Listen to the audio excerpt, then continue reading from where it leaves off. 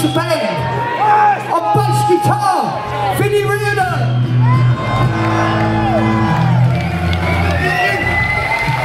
On lead guitar and the one guitar, Mr. Mickey Geggus. And our pocket battleship, the man who's got the rhythm, and he fucking makes it thunder. He's the one and only, on drums, Mr. John Perry Sampson!